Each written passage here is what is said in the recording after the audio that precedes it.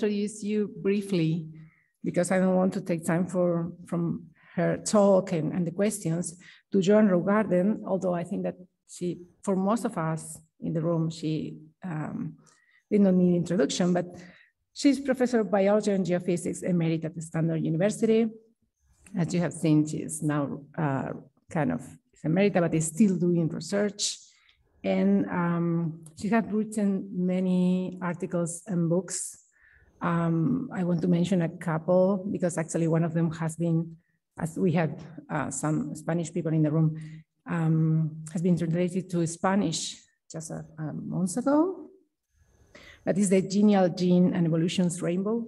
Um, and I want to mention this too, just because it's kind of personal. I, I it was really great when I crossed over those books and I started to read them and start to read uh, some of the work that Joan did and is doing because um, it kind of fit with something that uh, I am a bi biologist and certain things that never made that much sense for me when I was a grad student um, and later on working in evolutionary biology. But then it was like, ah, this makes much more sense.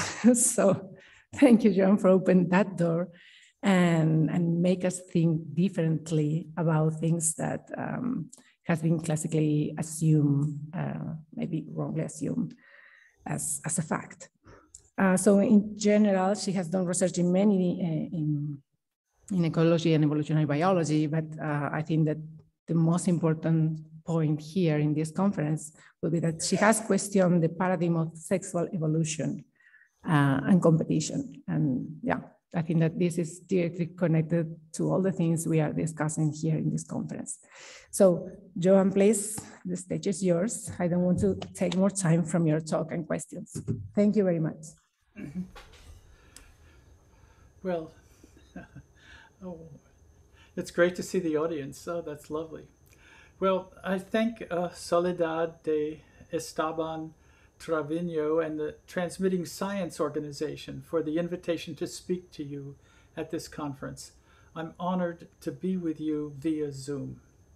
The first part of this talk reviews some natural variation in gender expression and sexuality that is either not sufficiently known or is problematic for evolutionary theory. And the second part of the talk calls attention to a definition of sexual selection that was developed during a workshop I organized at NESCENT in 2013 and contrasts this definition with one recently proposed by David Shuker and Carlotta Kvarnemo. Now, this slide illustrates geckos from Pacific Islands that reproduce asexually. Many species of vertebrates, including lizards and fish, reproduce asexually. Asexual reproduction may be obligate or facultative in vertebrates. Facultative asexual reproduction. I found this on the web. excuse me. Facultative asexual reproduction occurs in snakes, monitor lizards, birds, and sharks. Asexual reproduction provides an upper bound to the costs of sex that a species should tolerate. It, for example, if the so-called battle of the sexes becomes sufficiently deleterious, then an evolutionary option, and in some species a behavioral option, is not to bother with sexual reproduction and to reproduce asexually instead. To the contrary, the decision to reproduce sexually is a decision to cooperate, to mix genes rather than to clone. The for overarching benefit to sexual reproduction is that the average fitness through time for a sexually reproducing species is higher than that for an asexually reproducing species. Thus, sexual reproduction has evolved over asexual reproduction to realize a higher long-term fitness in a fluctuating environment. There is no reason to accept the hypothesis that sex evolved to eliminate bad genes from the gene pool. Sex starts with cooperation. Now this, this slide shows a human egg with human sperm, illustrating the size difference between these two types of gametes. The biological definition of male and female applies to all living things, from seaweeds to sea lions. Namely, a male is an individual that makes solely sperm throughout its life. A female is an individual that makes solely eggs throughout its life. And a hermaphrodite is an individual that makes both eggs and sperm during its life, either at the same time or at different times. By definition, the sperm is the smaller gamete and the egg is the larger gamete. Therefore, the origin of the distinction between male and female rests with the origin of a size difference between gametes, called anisogamy. Anisogamy evolves as a strategy to increase fertilization rates. That is, more gametic contacts and fertilizations occur in seawater when a cloud of large gametes is intersected by a cloud of small gametes than by two clouds of medium-sized gametes intersecting each other. There is no reason to accept the hypothesis of some biologists that, quote, males are dependent on females and propagate at their expense as in a parasite-host relationship, unquote, and that, quote, primordial sexual conflict concerned the origin of anisogamy itself, unquote. The origin of male and female does not represent a battle of the gametes. Now, given the origin of anisogamy, the next conceptual issue is how those gametes are packaged into bodies. Both eggs and sperm together in one body type, called hermaphrodism, or eggs in one body, body type and sperm into another body type, called dioecy. A simultaneous hermaphrodite produces both sperm and eggs at the same time. A sequential hermaphrodite produces eggs and sperms and sperm at different times. And sequential hermaphrodites come in two varieties, male first, then female, and female first, then male. Now, sequential hermaphrodites change sex during life. That means, by definition, they transition from making sperm to making eggs, or vice versa. Furthermore, some fish multiply switch. For example, changing from juvenile to male to female and then back to male, and changing the size of the gametes they make each time they switch. Now, most plants are hermaphroditic. Only about 6% of plant species have separate sexes. Conversely, most animals have separate sexes, and only 6% of all animal species are hermaphroditic. In this slide, on the left are blue-headed wrasses, a species with some individuals who change from female to male. In the middle are clownfish, a species with some individuals who change from male to female. And on the right are hamlets, a species with individuals who are simultaneously male and female. Now, hermit, hamlets do not self-fertilize. The figure depicts the mating dance, wherein one fish releases eggs and the other releases sperm, and then they turn over and reverse roles. Hermaphrodism is the primitive condition and dioecy is derived, although in some lineages and some ecological conditions, dioecy reverts back to hermaphrodism. Generally speaking, the advantage to evolving from having both eggs and sperm in the same body to having specialized carriers of sperm and eggs is efficiency in locating partners. Now, in fish, parental care is usually provided by males. On the bottom is a pipefish from a group whose tubular bodies resemble a flute. In pipefish, the males glue the fertilized eggs to their bellies while they swim about. Seahorses are derived from, from pipefish. In seahorses, the males have a skin flap on their bellies into which the females deposit their eggs, causing the male to become, so to speak, pregnant. As a result, females in some seahorse species can produce eggs faster than males can give birth to the eggs they are incubating. Hence, females can mate with more males than males can mate with females, so that the males become choosy and the females promiscuous. And this is called sex role reversal. Now, sex role reversal is theoretically important because it demonstrates there is no connection between gamete size and sex role.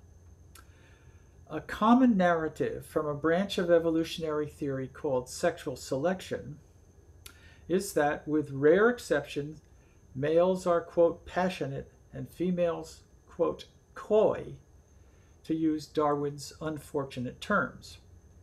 Sexual selection theory posits that males with their cheap sperm can afford to play around, whereas females with their expensive eggs stand to lose their reproductive investment if they mate with a genetically infer inferior male. Sex role reversed species demonstrate that either sex can be promiscuous or choosy regardless of gamete size, thereby invalidating sexual selection's claims of a necessary connection between gamete size and sex role. Now, can animals have gender? Or is gender reserved for humans? I take gender to mean the morphology, behavior, and life history of a sexed body. A quote, sexed body is a body classified with respect to the size of the gametes produced.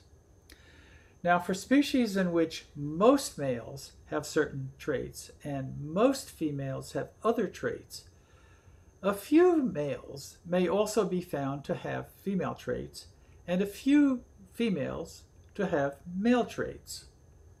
This situation allows for what has been termed transgender animals. The best studied example occurs in the sun angel hummingbird species from the Andes.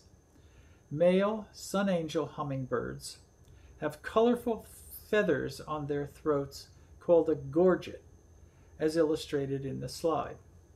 A female with a gorget is referred to as a masculine female. It also has a comparatively shorter bill. Conversely, feminine males also exist with a longer bill. Now, males use their gorgets in territory defense of the common short flowers that fit short bills. Masculine females, like the males, can defend territories of short flowers. Conversely, feminine males have longer bills than masculine males. Feminine males use different flowers from the masculine males, namely relatively rare long tubular flowers that do not need to be defended. What is theoretically important is that gender expression indicates occupation, and transgender birds are those whose occupation crosses over into the occupation typical of the other gender. Now this slide, which I took in 2018 during a safari to South Africa, illustrates two male elephants mating. Charismatic megavertebrates often feature same-sex mating, as do over 100 bird species. Now this slide shows male-male mating in rams and lions. The sequence in the top right was given to me by a Brazilian photojournalist. they show one male lion soliciting a mating from another male and then proceeding to a male male mating, which occurs right here. I hope you can see the cursor. The bottom two photos show that same sex mating in lions occurs in the presence of a female.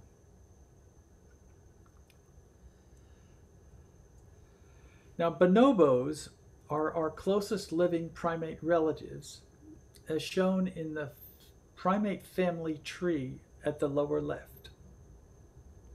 The top slide illustrates, oh, uh, should have said, that in August 2021, I visited the Apenheul Zoo in Holland to photograph bonobos. The top slide shows the bonobo habitat at the zoo. The bonobos spend their night in the structure at the top left. Each morning, the zookeeper in the center bottom distributes food. Then the bonobos exit their structure to forage for food as shown in the lower right. The top left shows the clitoris of a subadult bonobo. The placement of the clitoris facilitates a form of same-sex mating called GG rubbing, or genital to genital rubbing, where the females rub their clitorises with each other, leading to an orgasm accompanied with squeals of pleasure. To alleviate conflict over food scattered across the habitat, the females carry out lots of same-sex mating in various positions. The top right is face-to-face lying down. The bottom left is face-to-face sitting up. The bottom right is back-to-back. And the top left and center illustrates still more female-female mating positions, back to front and genital touching. Female bonobos could write their own Kama Sutra. Unless one think bonobo behavior is irrelevant to the human experience, the diagram at the top right is the primate family tree extending to humans. Bonobos, along with the common chimp, are our closest living primate relatives. The bottom left is the 1974 specimen of Australopithecus afarensis, known as Lucy.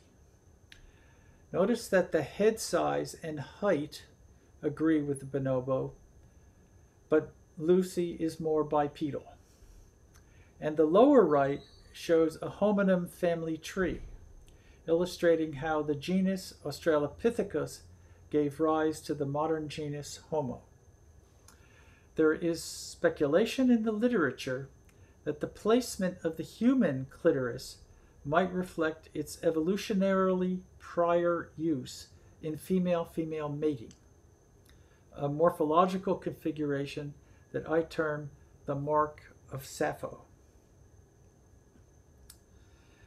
Now, the widespread occurrence of same-sex mating in animals is no longer news to biologists but what to make of it is not so clear. In my view, same-sex mating belongs, belongs with many forms of affiliative behavior, including mu mutual grooming in mammals, mutual preening in birds, and excess heterosexual mating, as shown in the slide. These behaviors lead to the mutual exchange of physical pleasure. Making a big deal about same-sex mating reflects Western culture's fetishizing of sex. The theoretical interest lies with the entire class of mutual affiliative behaviors, not solely same-sex mating. And I've proposed that affiliative behaviors generally underwrite cooperation. Carrying out cooperation requires coordination of activity, and the act of cooperation itself might be pleasurable. how to interpret affiliative behavior and mating behavior in general brings us to the topic of sexual selection. Now, sexual selection theory is widely known in connection with the peacock's tail. These are supposed to result from peahens selecting mates with gaudy tails that signify genetic quality. In 2006, in a science article with Erol Akçay and Meeko Oishi, as well as in later publications, I have argued that sexual selection theory should be completely abandoned as an explanatory framework in evolutionary biology. My view is illustrated at the top of the slide, wherein what was originally a possibly useful hypothesis to explain the evolution of male ornaments, such as the peacock's tail, has morphed over the years into a bloatable, a bloated and unfalsifiable doctrine of natural conflict, deceit, and sex stereotypes. Today's sexual selection doctrine is as useless to scientific progress as a three pound, $5,000 Swiss Army knife is to carpentry. To develop a constructive way forward, in 2013 I organized a workshop, a workshop with 34 participants at NESCENT in Durham, North Carolina, to assess the state of sexual selection studies and to suggest future directions. A miniature of the workshop's report is in the bottom left slide. The remarkable finding from the participants, the remarkable finding was that the participants could not agree on the definition of sexual selection. And therefore, a subcommittee of participants worked to develop a definition as discussed later. Then last year, David Shuker and Carlotta Kvarnemo reviewed the definition of sexual selection for the journal Behavioral Ecology.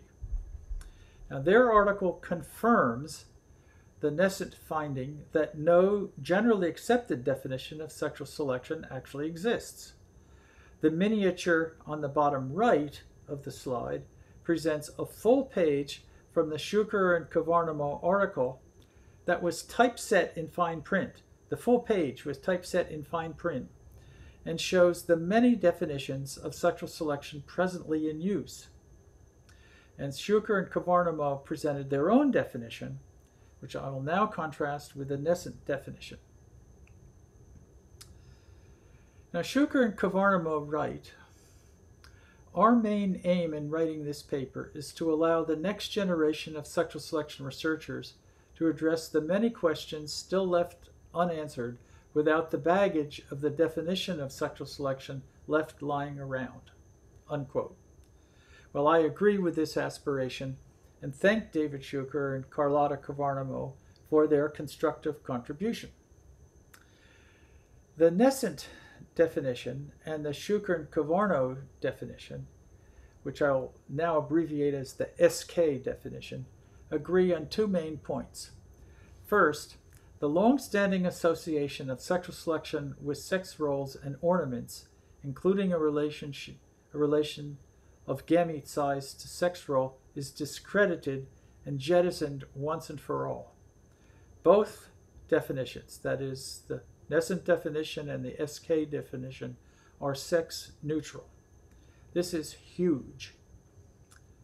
Second, the definitions agree that a distinction is needed between sexual selection and the fertility component of natural selection.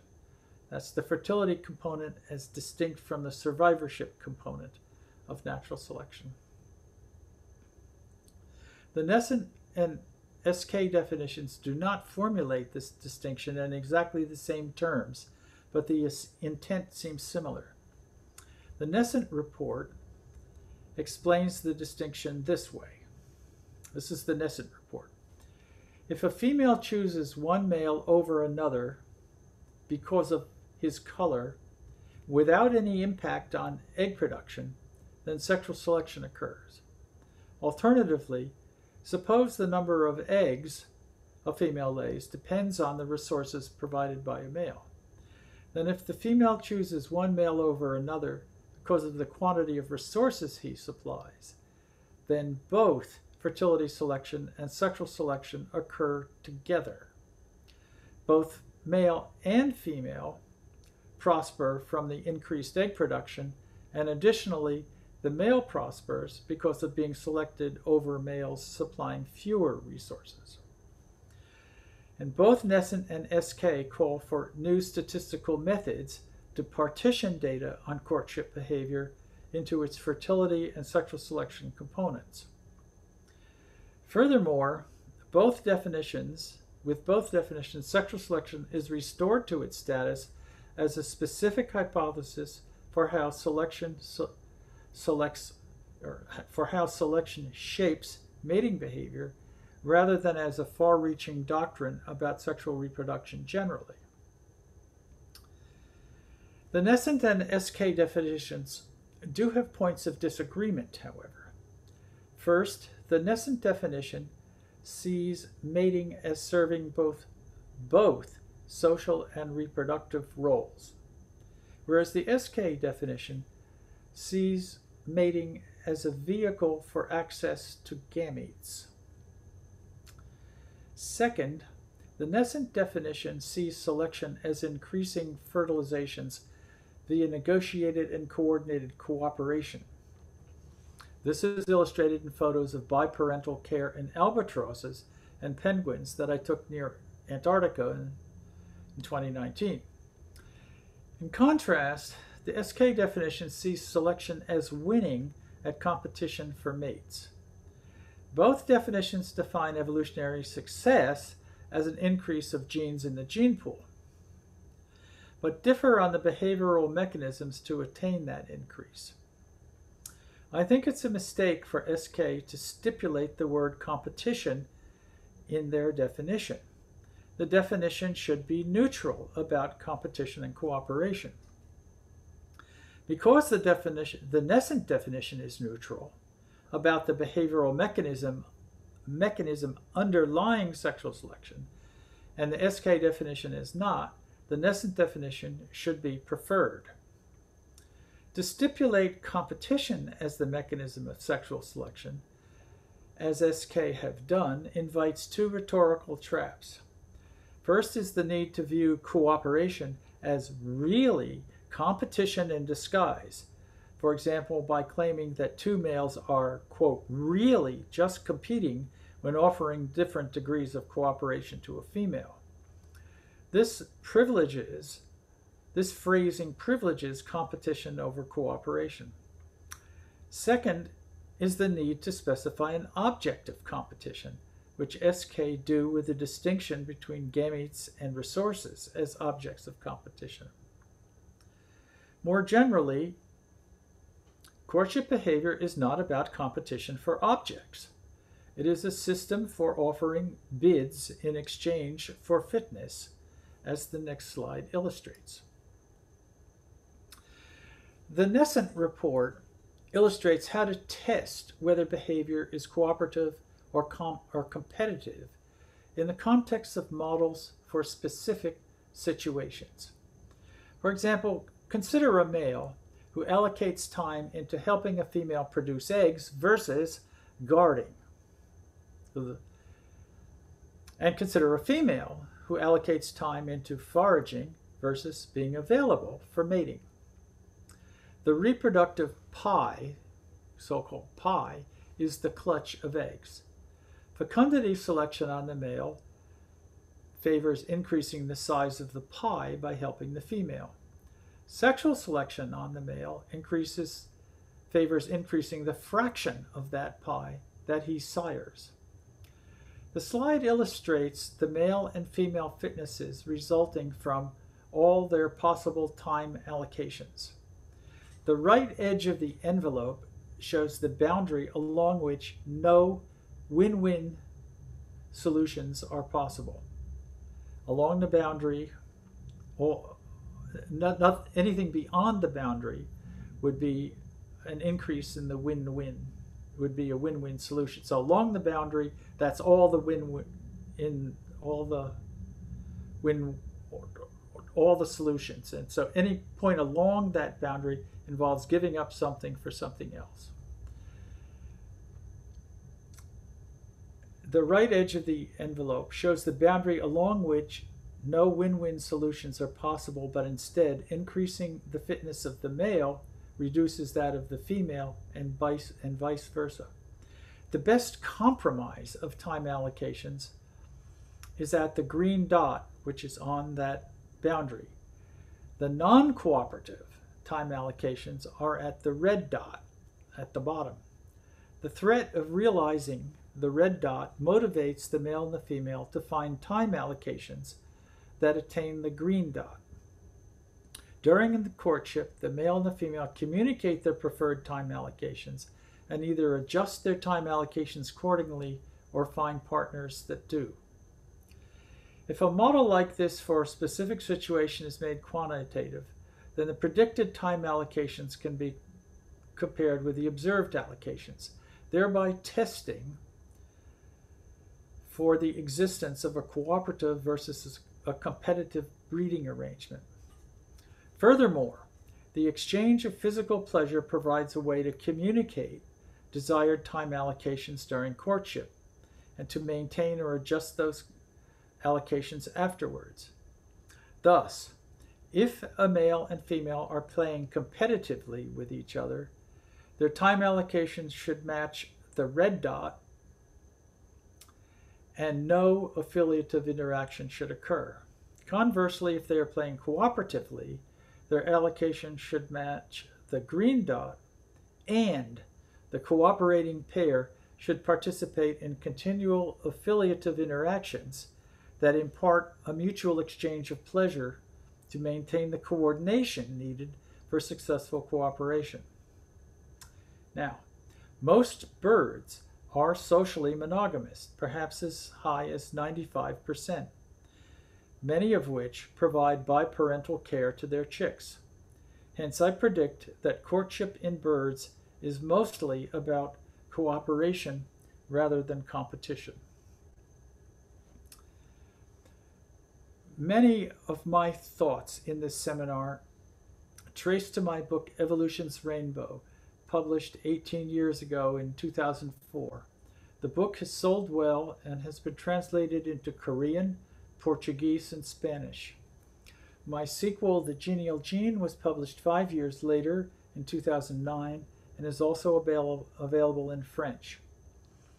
I have published numerous articles on gender and sexuality up until 2017 but at that time, I felt I had done all that I could on the topic and decided to move on.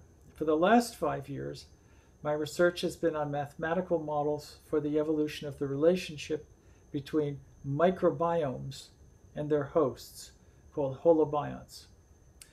All in all, the future for sexual selection studies looks promising now that the basic issue of sexual selection's definition is finally being seriously considered. This will lead to more testable hypotheses and more convincing science. And thank you for the opportunity to speak with you.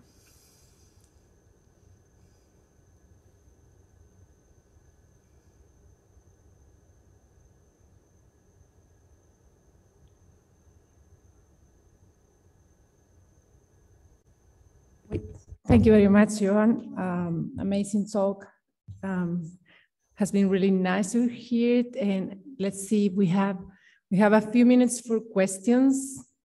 Let me check if there is any question online.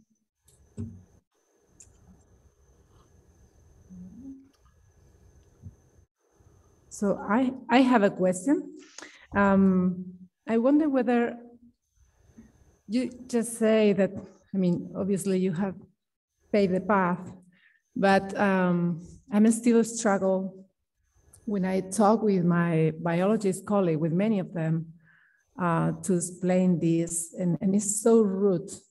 I mean, I was taught that at the degree, but they are still teaching it, uh, like yeah, sexual yeah. selection, you know, and everything is competition. Um, so, when do you think, you know, how long is going to take to change that? If you have any thoughts or idea on it. Um, no, uh, I honestly know that it won't be in my lifetime. and um, it, you see the the sexual selection narrative and also the selfish gene narrative. These these are narratives that people want to hear. And um, and it's almost they have a life of their own irrespective of the facts and and so the, uh, until the, um, un, until the appeal of those narratives is is addressed, we're not going to get the science moving. Um, and as you know, many many feminist writers have, have written about um, the the role of power, and the the this the the selfish gene narrative and the sexual selection narrative um, provide power to people to to the to their proponents, and they're not about to give that up. And um, the selfish gene narrative, as I've said uh, is, basically a nar- narrative of genetic entitlement. It's a genetic uh, classism. And the sexual selection narrative is again a, a, narrative of entitlement that the best male um, deservedly gets the biggest harem and things like that. And, and the expansion of the sexual selection narrative into uh, a doctrine of deceit and um, uh, conflict, again, satisfies a need of people to hear that narrative. So, my answer to you is that we have to see who benefits from the existing narrative narratives here and then address that and then the science will follow um, but i think it's going to be a long slog just to uh, attack the existing dogma solely with data and experiments and models. Yeah, there was. I think it's one of the things has been addressed or are being addressed during the conferences. These conferences, yeah, how much time is going to take to change the, yeah, the top and have more diversity, so we can have more diversity of thoughts too, and not just um, one paradigm that cannot uh, doesn't agree actually with facts. Um, but yeah, I have colleagues that are evolutionary anthropologists working on human evolution. Oh yeah.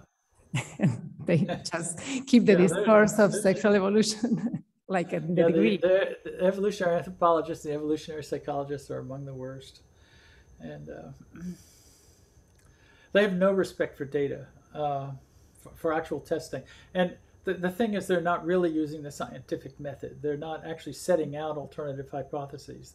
They set out variants of a sexual selection hypothesis and then see which variant may be correct. And um, but but you need to find an evolutionary psychologist or an evolutionary anthropologist who actually thinks is willing to seriously entertain the idea that it's wrong and then design an experiment and set up a situation in which uh, you have a clear sexual selection prediction and a clear um, alternative prediction. And, um, and they don't do that. Uh, and I don't see how uh, that's going to change because uh, the market is for people um, uh, perpetuating the sexual selection narrative and and until until psychology departments and anthropology departments start hiring people who are who are critics of the dominant uh, narratives, um, it's going to stay that way. There's there's got to be um, a reward uh, um, in in the academy for uh, uh, challenging the dominant narratives, and this this is is found to some extent in the humanities but less so in the sciences and social sciences. Yeah, we have a question in the chat from Nick. Um, I'm going to read aloud. Thanks for the talk. I have a question. The narrative of sexual competition, but also the comparison of animal with human behavior is often used to catch people attention during science dissemination event. For example, oh, the female animal of a species X is acting like a woman, being shy and pretending the male to bring her presence, etc. What are the most common errors made on this issue? How can we avoid and expose them? Um, you can you can see in the I think that you can see in the chat the full question too, just in, in the bar Zoom bar. Hmm. oh, yeah, here, make it online. Yeah, I'm just trying to find in the is in the Q and A. Not in the chat, not in Q and A, but in the chat. Um, oh, there's like another one. Yeah, yeah. You should have like a small red one. Yeah, yeah, I found it now.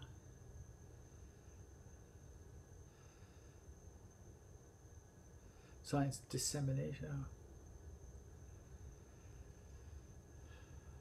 I guess that for what what yeah. he means is that for outreach, sometimes like um, like in a way perpetuating stereotypes.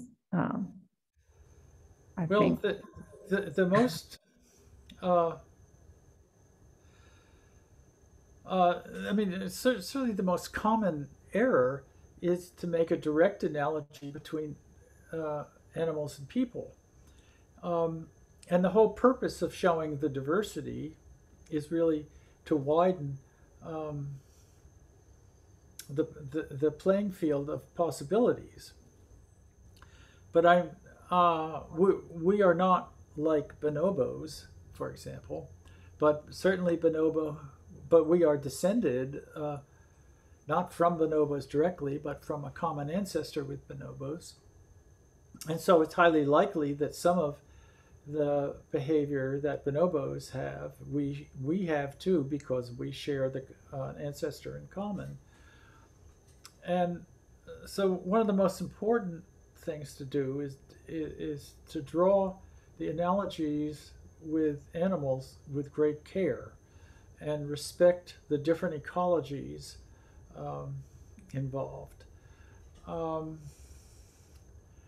and the other issue is, of course, not oversimplifying animals it, it, because it's not all competition. There's a certain facileness with which people turn to animals, and uh, they say, "Oh well, look, they're uh, they're competing, or they're uh, or, or, one of them is trying to fool the other." So and and and then there's this kind of anthropomorphic projection onto the animals, which is then retrieved from the animals as though that's nature's way, and it's a a circular process.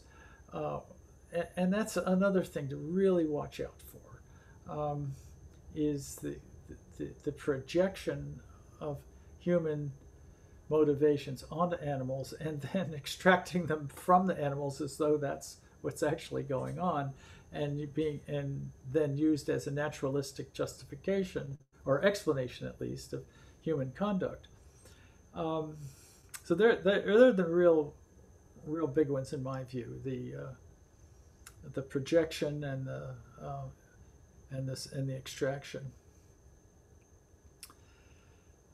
Thank you. Um, yeah, okay, see a, I see there is a, another uh, question. Yeah, I can I can now see these coming up. Yeah, Jackie has another question Let's say, I'm really interested in Joan's comment about challenging the dominant narratives, how this is achieved in the humanities, but less so in the natural sciences. How does she think this can change? Do we, for example, need more interdisciplinary teams or hybrid academics? Disclaimer, I am a STEM grad working in social sciences, but building bridges across disciplines. Well, yeah, I do think uh, more interdisciplinary uh, work would help a lot. Uh, and um, I think, for example, that uh, that there should, I, I, don't know if this would ever be possible, but at least among uh, uh, in, a, in a graduate core course, let's say, in the sciences, social sciences, there should be an element on feminist theory. and critical thinking. Um, and scientists are generally not trained in that. And uh, there should be a, a uh, some instruction about the importance of location. You know, wh- where where is a speaker or writer's location? And uh, and a lot of humanist writers uh, handle this uh, and, and, the implicit and bias bias caused by their location by just simply being upfront about their location, like um, you know I'm from a certain country or I'm from from a certain background or I have a certain experience and this this is where I'm coming from. But scientists uh, operate under the myth, of course, that that their location doesn't matter and that it's all facts and theories and tests and experiments. And I've pointed out many times that uh, that your location influences the kind of hypotheses that you formulate in the first place, and also the kind of narratives that you develop to explain what you see. And um, most scientists uh, rebel against the uh, the idea that that their location matters. I actually remember having an argument about this with Richard Dawkins, of all people, once, uh, and um, and he got him actually to agree that uh, the diversity of hypotheses uh, generating that the scientific method relies on a diversity of hypotheses because that's what you're supposed to test. And, and if your hypotheses don't span the set of possibilities, then the scientific method can't work. And, and then uh, if, it's, if it's also true, it's demonstrably true that people from different locations actually propose different kinds of hypotheses and different ways of seeing uh, a situation, then that's what's going to improve the scientific method. And so there has to be a justification uh, for the diversity uh, that uh, that a scientist can sign on to. They can say, "Well, I, I'm really not interested in the ethics or the moral justification for diversity." That's they might say, "Well, that's something that's extra scientific. That that you can go to church and you can go to a, a, some kind of ethical society and and deal with that, but that's not proper or uh, part part and parcel of the science itself. But if you make a a case that the diversity actually matters to the conduct of the science, then you've got them. And uh, and so that's that's I think what you need to bring the kind of uh, diversity uh, of opinion, which um, is I say now, more, which which I believe is standard practice in the humanities, where you identify your location and then you indicate what your point of view is and how that differs from somebody else's point of view.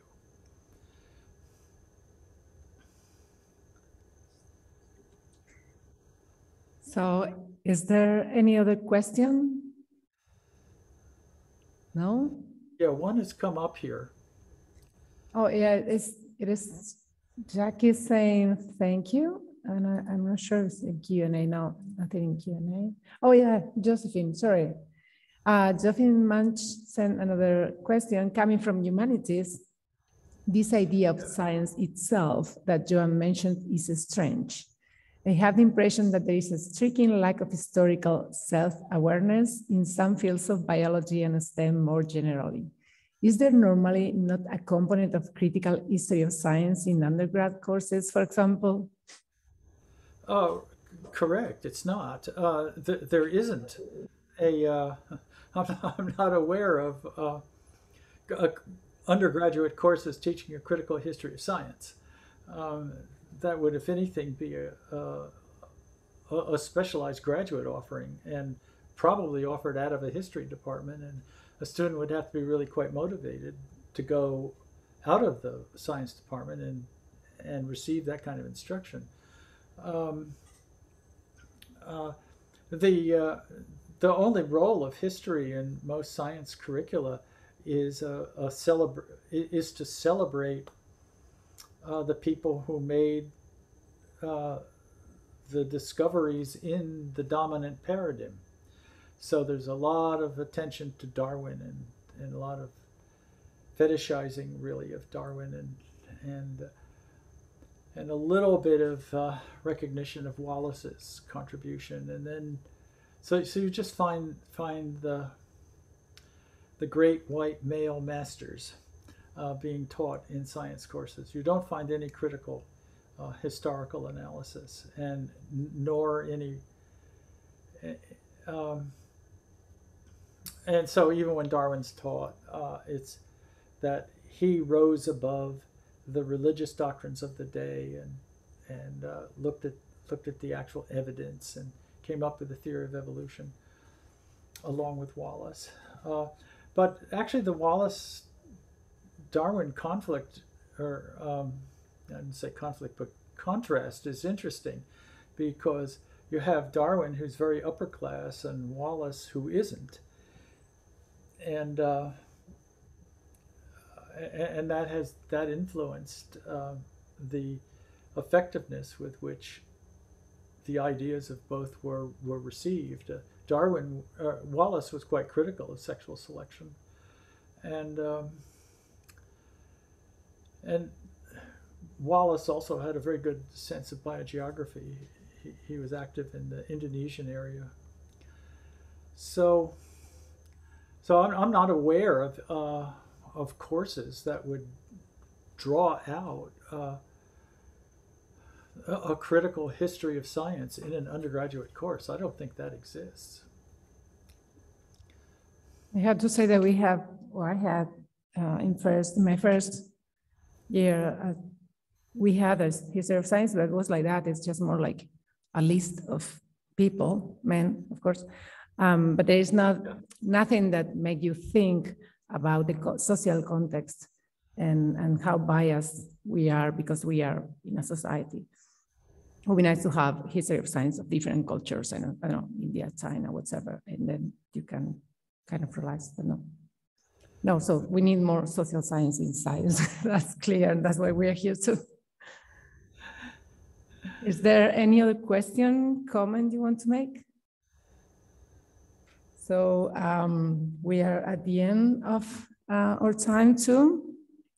Thank you very much again, Joan, and thank you all for being here and your comments and questions. Uh, we are going to move forward because in five minutes uh, the, the symposiums start.